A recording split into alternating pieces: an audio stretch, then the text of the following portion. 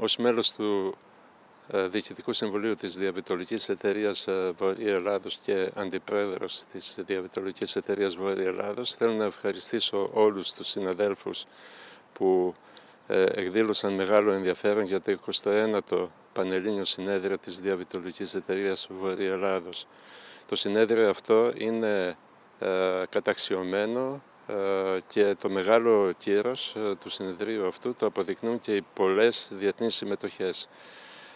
Έχουμε τη μεγάλη χαρά και τιμή να έχουμε μαζί μας το 21ο συνέδριο τον καθηγητή του Πανεπιστήμιου του Harvard, τον Χρήστο Τοματζόρο, ο οποίος είναι παγκοσμίας φήμης καθηγητής ιατρικής ε,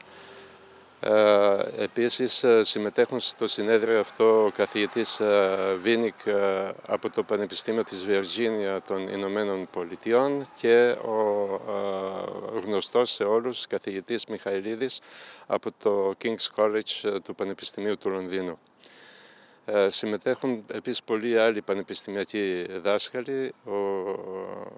από την Ελλάδα και από το εξωτερικό. Θα παρουσιαστούν στο συνέδριο ε,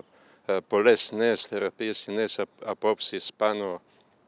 ε, στην παθοφυσιολογία ε, του Σαχαρά διαβήτη και στην αντιμετώπιση του και είμαι σίγουρος ότι το συνέδριο αυτό θα είναι ακόμη πιο πετυχημένο από το προηγούμενο 28ο συνέδριο της Διαβητολογικής Εταιρείας Βορρή Ελλάδος.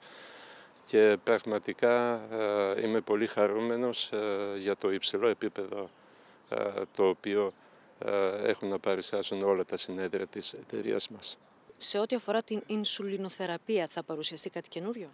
Θα παρουσιαστούν νέες ινσουλίνες οι οποίες ε, ε, μερικές από αυτές ήδη χρησιμοποιούνται σε άλλες ευρωπαϊκές χώρες και ελπίζουμε ότι σύντομα θα τις έχουμε και θα χρησιμοποιούνται και στους δικούς μας διαβητικούς. Ε, θα υπάρχουν δορυφορικά συμπόσια για τις ινσουλίνες αυτές και θα έχουν όλη την ευκαιρία να ακούσουν ε, όλα τα δεδομένα των διεθνών μελετών και να μάθουν τα προτερήματα ε, των νέων ινσουλινών.